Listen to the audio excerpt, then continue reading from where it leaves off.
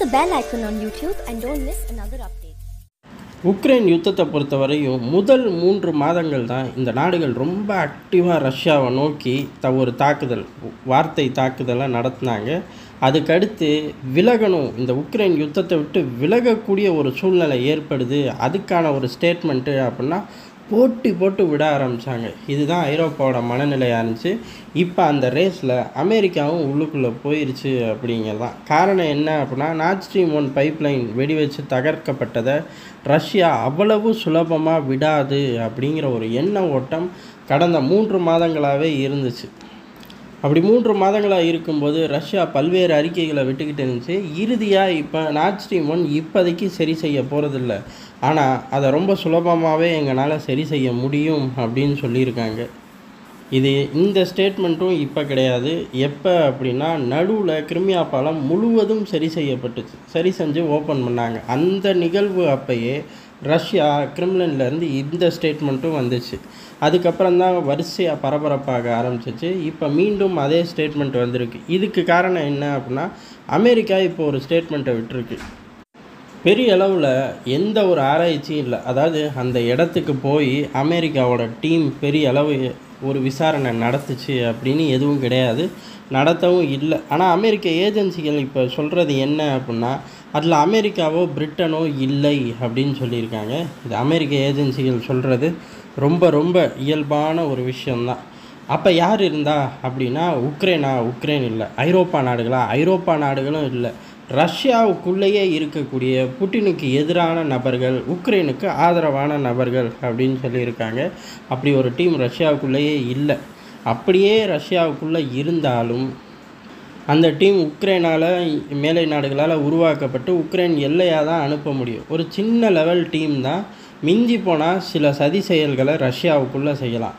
ஆனால் கடலில் இந்த மாதிரி பைப்புகளெல்லாம் வெடி வச்சு தகர்க்கணும் அப்படின்னா முழுக்க முழுக்க நாடுகளோட துணை இல்லாமல் நாடுகளோட உளவு பிரிவு தலையிடாமல் நடக்கிறதுக்கு வாய்ப்பே இல்லை அப்படிங்கிறதா இந்த ஸ்டேட்மெண்ட் மூலிமா அமெரிக்கா விஷயத்தை குழப்பறக்காக பார்க்குது அதை தாண்டி ஒன்றும் இல்லை அப்படின்னு ரஷ்யா சொல்லியிருக்கு.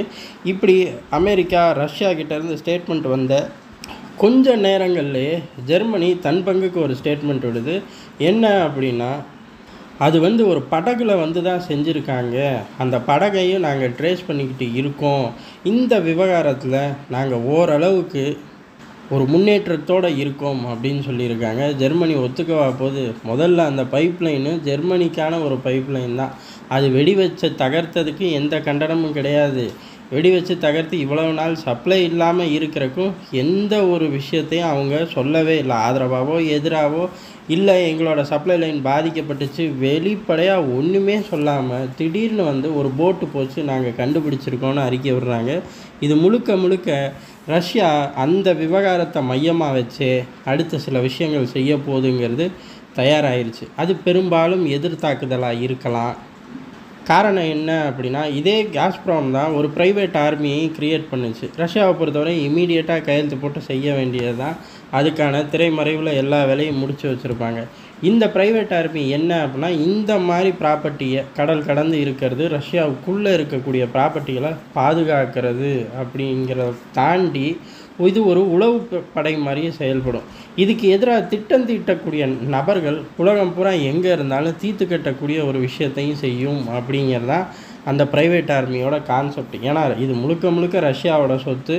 ரஷ்ய இராணுவமே பாதுகாப்புக்கு இருக்கலாம். ஆனால் அப்படி ஒரு தனியாக ஒரு அமைப்பை உருவாக்குற காரணமே இவர்கள் பெரிய அளவில் எதிர்த்தாக்குதலை நடத்துறக்கு தயாராகிட்டாங்க அப்படின்னு காட்டுறது தான் இது எல்லாம் தெரிஞ்சனால தான் இப்போ இந்த நாடுகள் மெல்ல ஒரு பேக் ஸ்டாண்டு எடுத்துக்கிட்டு இருக்காங்க. இப்படி பேக் ஸ்டாண்டு எடுத்தால் மட்டும் ரஷ்யா விட்டுருமா அப்படின்னு கேட்டால் ரஷ்யா விட போகிறது கிடையாது. ஏன்னா கிரிம்லன்லேருந்து ரொம்ப தெளிவாக விஷயத்தை குழப்பறக்காக தான் இப்படி செய்கிறாங்க யார் என்ன குழப்பினாலும் இதுக்கான பதிலடி ரஷ்யா கொடுத்தே தீரும் அப்படின்னு சொல்லியிருக்காங்க. பைப்லைனை பொறுத்தவரை எங்களால் சரி பண்ண முடியும். இப்போ நாங்கள் அதை தொட போடுறது இல்லை அப்படிங்கிறதையும் ரொம்ப தெளிவாக பதிவு பண்ணி வச்சுருக்காங்க. நார்த் ஸ்ட்ரீம் இப்போ மீண்டும் ஒரு பூதாகரமாக வெடிச்சிருக்கு. இப்படி நார்த் ஸ்ட்ரீம் விவகாரம் எவ்வளவு காட்டுத்தீ மாதிரி பரவிக்கிட்டு இருக்கோ அதே போல் செச்சன்யாவோட தலைவர் ரம்ஜான் கேடரோவோட ஹெல்த் எப்படி இருக்குது அப்படின்னு காட்டுத்தீ மாதிரி பல செய்திகள் பரவச்சு. அதில் இப்போ அடுத்த அப்டேட்டாக ரம்ஜான் கேடரோட பையனை ரஷ்ய அதிபர் புட்டின் கூப்பிட்டு பேசியிருக்காரு. இது சம்மந்தப்பட்டு ரஷ்யா வேறு எந்த அறிக்கையும் விடலை. ஆனால் இந்த நிகழ்வை கோர்த்து பல நபர்களும் பல விஷயம் சொல்கிறாங்க ரம்ஜான் கேடரோ என்ன சொல்கிறார் அப்படிங்கிறதான். அவரை பொறுத்த வரையும் இது வந்து அஃபிஷியலான ஒரு சந்திப்பு கிடையாது.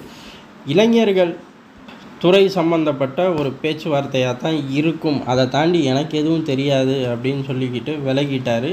ரம்ஜான் கேடரோ தான் கடந்த இருபது வருஷமாக செச்சன்யாவிலேருந்து ரஷ்ய அதிபர் புட்டினை பார்க்கக்கூடிய ஒரே தலைவர்.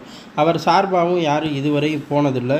இதுதான் முதல் முறை. ஒருவேளை இவர் அகற்றிட்டு அவர் பையனை அந்த ப இடத்துக்கு கொண்டு வரதுக்கு ரஷ்ய தலைமை முடிவு பண்ணிருச்சோ அப்படின்னு பல்வேறு விஷயங்கள் போகுது இன்னொரு தரப்பு என்ன அப்படின்னா ரம்ஜான் கேடரோவுக்கு முடியலை. அதனால் அவர் இடத்துக்கு அவர் இருக்கும்போதே ஒரு ரீப்ளேஸை கொண்டு வந்தால் தான் அந்த பகுதியில் எந்த சச்சரவும் வெடிக்காது அப்படின்னு ரஷ்ய தலைமை நம்புது அப்படின்னு சொல்கிறாங்க இன்னொரு பக்கம் இந்த டாக்டரு யூஏஇலேருந்து வரவழைக்கப்பட்டது பெரிய விஷயமா பூதாகரமாக பேசப்படுது. அதனால் ரஷ்ய தலைமைக்கும் ரம்ஜான் கேடரோ செச்சனிய படைக்கும் எந்த ஒரு கருத்து வேறுபாடும் இல்லை அப்படிங்கிறத நிரூபிக்கவும் ரம்ஜான் கேடரோவை தாண்டியும் அவரோட குடும்பத்தை சேர்ந்த நபர்களை தொடர்ந்து செச்சனிய படையில் தலைமை பொறுப்பில் இயங்க முடியும் அப்படிங்கிறத காட்டுறக்காக தான் கிரிம்லின் இந்த மாதிரி ஒரு நடவடிக்கை எடுத்திருக்குன்னு மூணு தேரி சொல்லப்படுது.